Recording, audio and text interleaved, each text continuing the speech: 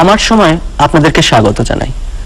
প্রতি সপ্তাহতেই ফিরে ফিরে আসি বিভিন্ন মানুষজনকে নিয়ে। আজকে আমার মধ্যে পেয়েছি এমন একজন মানুষকে নাইনটিন ফর্টি থ্রিতে যার জন্ম। ছন্দ, তাল, লয় সবকিছু নিয়েই তার জীবন।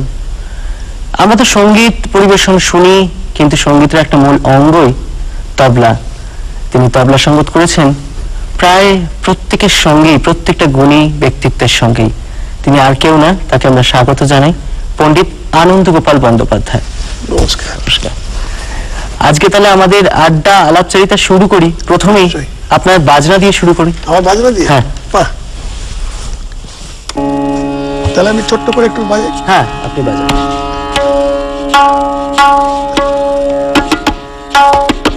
বাহ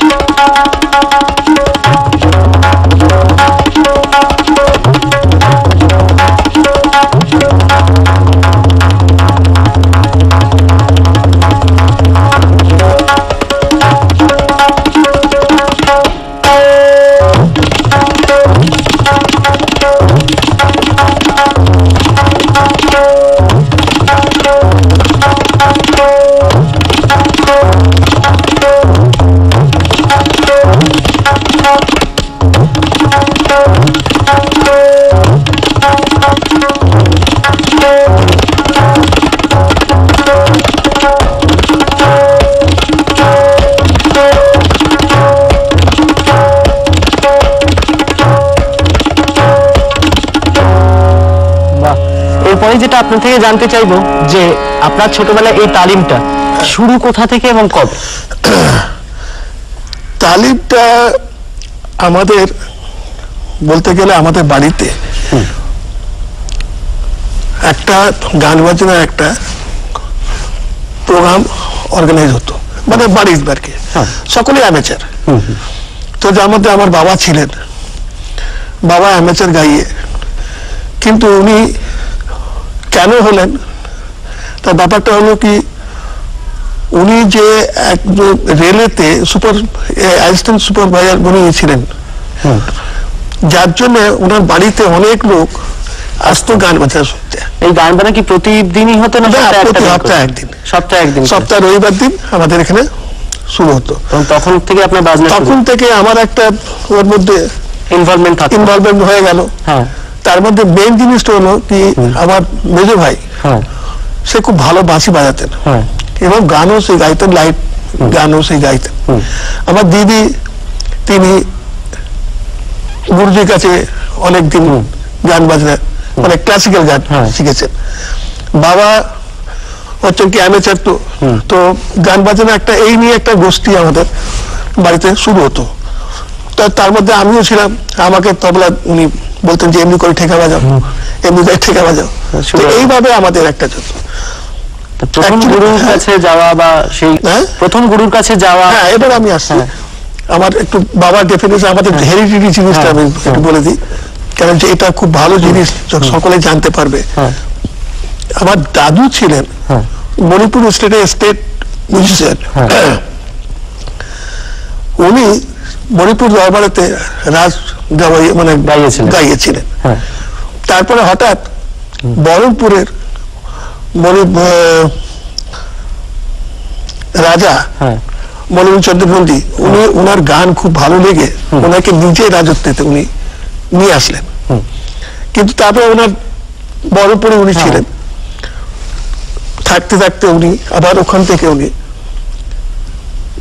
মথুরা বৃন্দাবন কারণ উনি সাধু টাইপের ছিলেন? হ্যাঁ। আপনার তালিমটা কোথায় শুরু আমার তালিম এবার হচ্ছে কি আমার বাড়িতে যে গান বাজানো হতো হ্যাঁ। তো বাবাই হাতে সবচেয়ে আমার হাতে ঘুরি। তারপরে?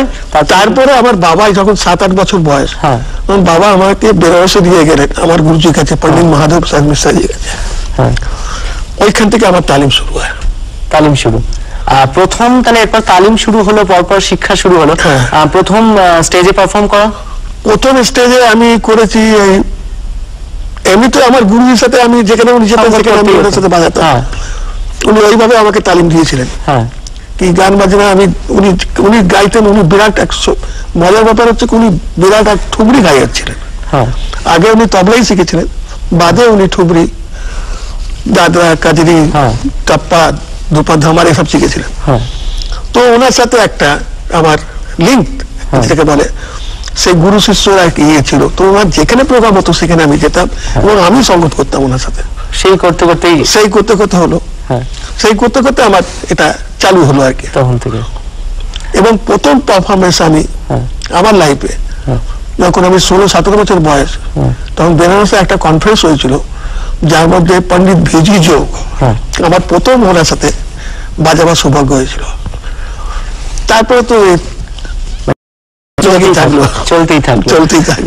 এই সঙ্গ যে হতে থাকল এরপরে আস্তে আস্তে তবলার সোলো পারফরমেন্স করতে থাকলেন। তবলা সোলো পারফরমেন্স করতে থাকে করতে করতে সঙ্গতে করতে থাকে। করতে করতে সেই অল ইন্ডিয়া রেডিওর কথা আমায় বলছিলেন। সেই গল্পটা যদি আমার দর্শক বন্ধুদের সাথে শেয়ার করেন। হ্যাঁ। আমার যখন বয়স আঠারো বছর হ্যাঁ হ্যাঁ। তখন একটা মানে কম্পিটিশনের জন্য আমি রেডিওতে একটা ফর্ম ভরেছিলাম হুম, হুম। তখন আমি বেনারসি থাকতাম। হুম। তো ফর্মটা ভর্তি ওরা রিপ্লাই পাঠালো। যে হ্যাঁ তুমি অ্যাপিয়ার হতে পারো। তো আমি অ্যাপিয়ার হলাম। তো পুরো ইউপিতে আমি ফার্স্ট হয়েছিলাম। হ্যাঁ। তারপর আমার চিঠি আসলো কি তোমাকে দিল্লি তোমাকে ডাকা হচ্ছে? ফাইনাল বাজাবার জন্য। অল ইন্ডিয়া বেসিসে অল ইন্ডিয়া তখন দিল্লিতে গেলাম দিল্লিতে ওনাকে রেকর্ডিং আমাদের ওখানে পাঠানো হলো হ্যাঁ। এলাহাবাদ থেকে। হ্যাঁ।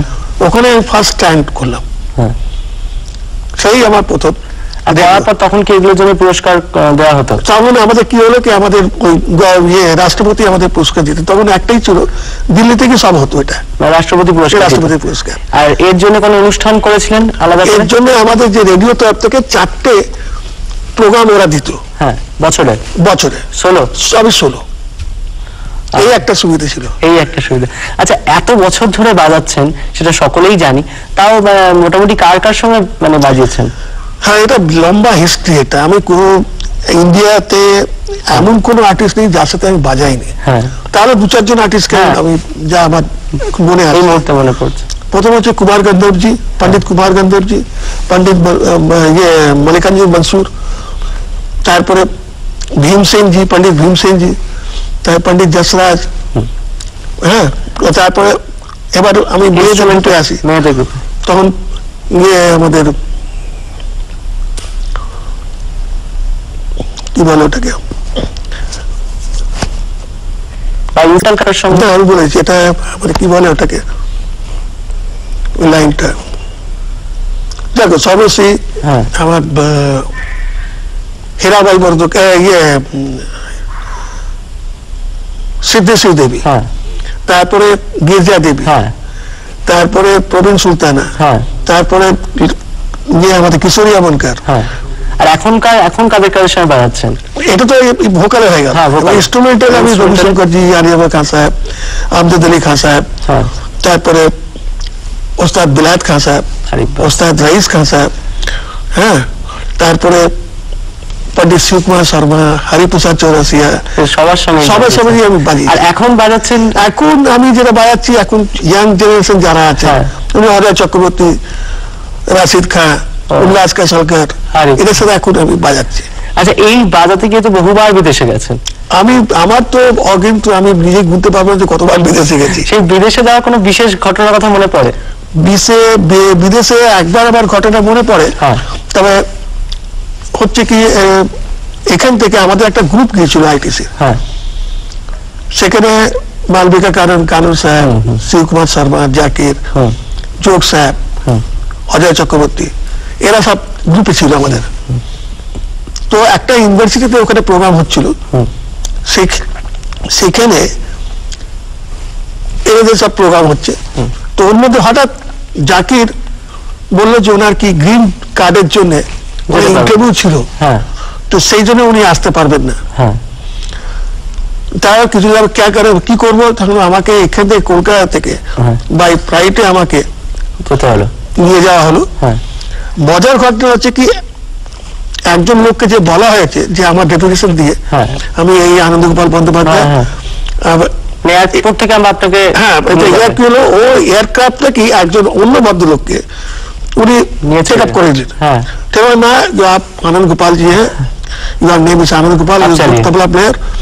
বলে ওকে ওকে করে দিয়ে আমি যখন বাইরে বেরোই তখন জাকিরের এক স্টুডেন্ট সে আমাকে দেখতে পেয়েছে। যে आनंद भाई आप बोले अब तो ऐसा प्रोग्राम है या कोई आया नहीं बोले अब कहाँ जाना है हमने तो यूनिवर्सिटी नाम बोलना बोला हम आपको छोड़ते हैं। হ্যাঁ তারপর আপনাকে নিয়ে গেল হ্যাঁ ও তখন নিজের গাড়ি বের করে আমার তবলা টবলা নিয়ে গেল। যে হলে পৌঁছানো কিন্তু ওদেরকে যখন ওরা টেলিফোন করছে তো বলছে ওই লোক নয় আনন্দ গোপাল জি তো আ যায় यहाँ पर মানে ভুল লোককে নিয়ে গেছে এমন লোকে নিয়ে গেছে তারপরে আপনারা যখন গেলেন তখন কি মানে অলরেডি প্রোগ্রাম শুরু হয়ে গেছে তখন প্রোগ্রাম চলছে তখন কানুন সাহেবের প্রোগ্রাম হয়ে গেছে হ্যাঁ শিবকুমারের তখন আলাপ জোর ঝালা চলছে। মানে আপনার জন্য ওয়েট করছে। আমার জন্য আপনি অ্যানাউন্সমেন্ট করে খালি করা হচ্ছে যে আমার তো যে তবলা বাজাবে সে ইন্ডিয়া থেকে আসছে। হ্যাঁ। তো এই যদি ফ্লাইট নেমে গেছে কিন্তু একটু আসতে লেট হচ্ছে হ্যাঁ। ততক্ষণ জোর ঝালা বাজাচ্ছেন। দুবার দুবার তিনবার তিনবার রিপিটেশন করে। হ্যাঁ। আমি যখন পৌঁছালাম তখন আমাকে যোগ সাহেব বললেন ইয়ে বলে নেই কুছ নেই শুননা তুমি মুড হো আর আমি শুট করে গেছিলাম তো আমাকে বলল জামা বের করো। হ্যাঁ। জামা বের করে সে জামা পরে কোনো রকমে। একবারে সোজা স্টেজে ওই একটা সবচেয়ে বড় আমার। মানে এটা মজারও ঘটনা আমাদের ঘটনা। তাড়াতাড়ি বলতে গেলে অনেক এটা গুছিয়ে বলতে গেলে অনেক বড়। বিশাল বড় একটা লম্বা হিস্ট্রি না না সেটা না। এই যে এখন বাজানোর ক্ষেত্রে দেখছেন তা এখানে তো বিভিন্ন ঘরানার কথা শুনি। তা আপনি যে তালিম নিয়েছেন তবলা সেটা কোন ঘরানা? বেনারস ঘরানা। বেনারস ঘরানার বৈশিষ্ট্য যদি একটু বলেন। বেনারসের বৈশিষ্ট্য হচ্ছে কি আসলে বেনারসে হচ্ছে নাচ হুম। আর খোলা হাতের বাজনা। হ্যাঁ। তেমনি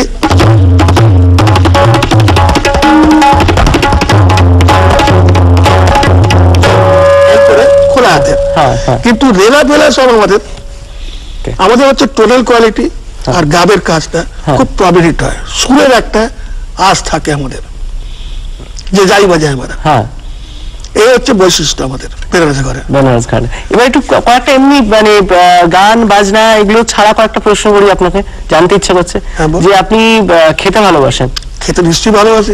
কোন ধরনের খাওয়া বেশি ভালো লাগে? মানে ভাত ডাল শুক্তো পোস্ত না একেবারে একদম মাছ মাংস? আমি মোগলাইটা বেশি পছন্দ করি। মানে মোগলাই না? হ্যাঁ। আমাদের তো হচ্ছে মেহনতের কাজ। হ্যাঁ। একসাথে বসলাম চার ঘণ্টা ছ ঘণ্টা রিয়াজ করলাম। হ্যাঁ। তারপরে খিদে যদি সেই সময় খাবারটা না দিই হ্যাঁ। তো আমার কি করে জোর আসবে আমার? তো যেমনি গানা বাজানো তেমনি খানা পিনা। একদম। দুটো বরাবর করে রাখতে একদম। তো খাওয়া দাওয়ার প্রশ্ন হলো এবার ভালো লাগার প্রশ্ন। মানে খেলাধুলা তো ভালোই লাগে। কোনটা ক্রিকেট না ফুটবল? ফুটবল। ফুটবল ভালো ফুটবল আমি ছোটবেলা থেকে আমি খুব স্কুলের তরফ থেকে খেলতাম। হ্যাঁ। তারপরে খেলে আমার ছোটবেলা থেকেই একটা ফুটবলের উপরে খুব ন্যাক ছিল।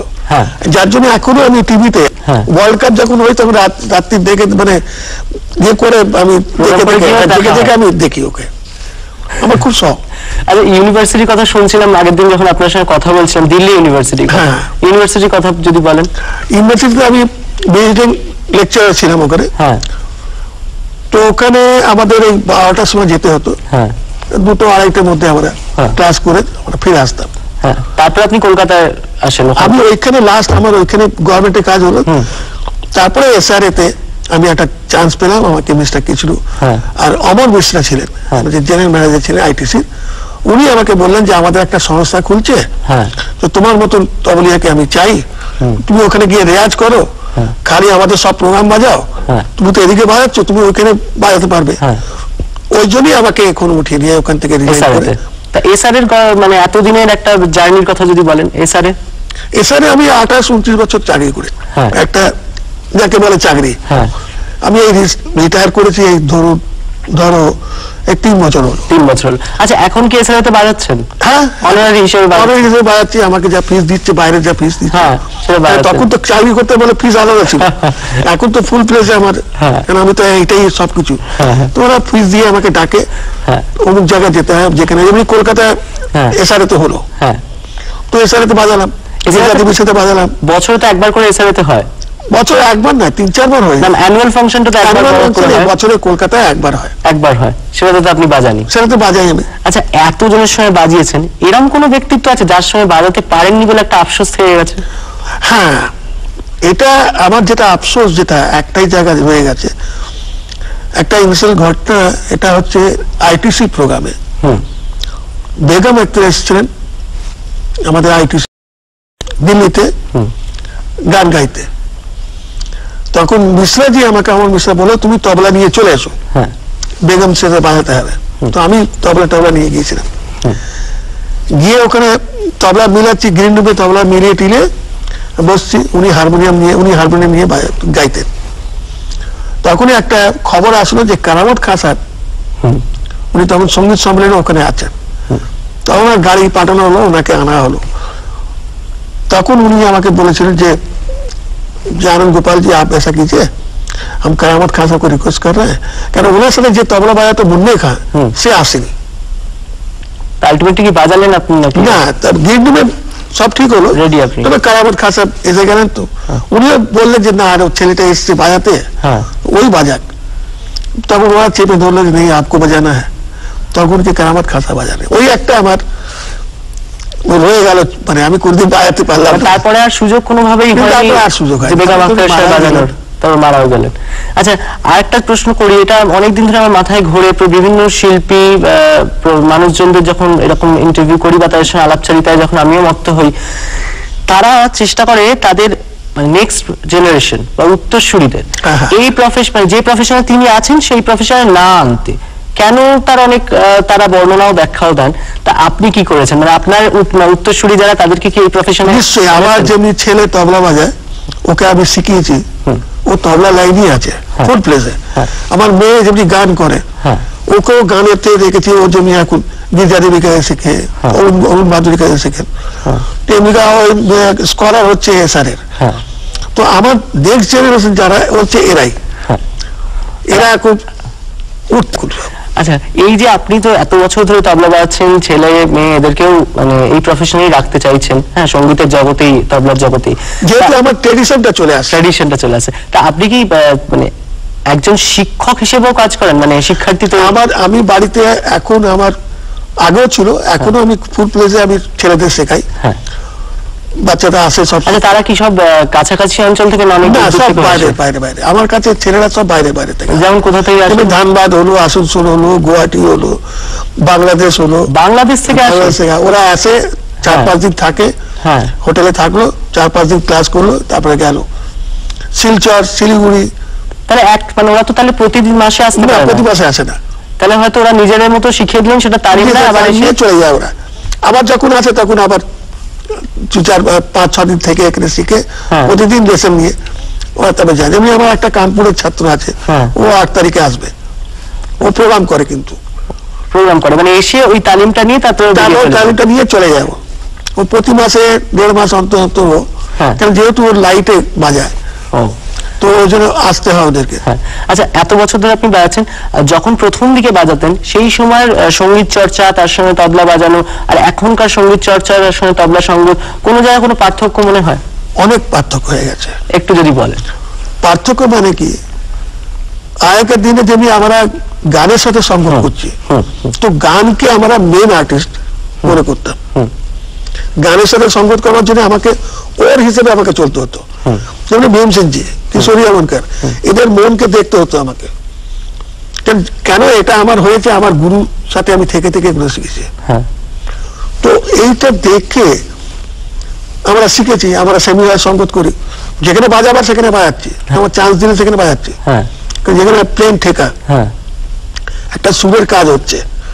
সেই সুরের কাজে যদি আমি তবলা যদি তেরকেট ধেরিকেট বাজাই তো সেটা বেকার হয়ে যাবে তো। আচ্ছা এই তবলা বাজানোর ক্ষেত্রে বা সঙ্গত করার ক্ষেত্রে সঙ্গীতের ক্ষেত্রে যিনি সংগীত পরিবেশন করছেন তাকে ব্যক্তিগতভাবে জানা বা তার মুড তার মানে আঙ্গিক এগুলো জানাটা কি খুব ভালো জরুরি? সেটা আমরা গ্রিন রুমে বুঝে নিই আমরা যখন আমরা বসলাম ইনস্ট্রুমেন্ট পেলাম তারপরে মিললো হ্যাঁ। ইয়া সেতার মিললো ইয়ে তখনই আমরা বুঝে নিই যে উনি কি চাইছেন না চাইছেন একটু বাজাতেই বোঝা যায় জিনিসটা। এটা হচ্ছে এক্সপিরিয়েন্স হ্যাঁ। অভিজ্ঞতা। অভিজ্ঞতা। এই অভিজ্ঞতাটা আজকালকার দিনে খুব কম। সেটাই। একার এখন দিন হয়ে গেছে কি এরা তবলা শিখেছে এবং তবলার ওপরই মানে আমি কি করে বাজাবো? আগেই বাজানো মানে শেখার আগেই বাজানোটা। ওটা গান বাজানোটা নষ্ট হয়ে যায়। ঠিক আছে। আজকে তো মানে কথা বলতে বলতে আমাদের অনুষ্ঠানের প্রায় আমরা শেষ দিকে চলে এসেছি। তা আরও অনেক কিছু প্রশ্ন আপনার থেকে জানার বাকি রইল। পরে আর একটা দিন আপনাকে নিয়ে আসব। অনুষ্ঠানে। তা আজকে আমাদের অনুষ্ঠান শেষ করব কিন্তু আমি বক বক করি সবসময় কথা না বলে আপনার বাজনা দিয়ে অনুষ্ঠান শেষ করব আচ্ছা।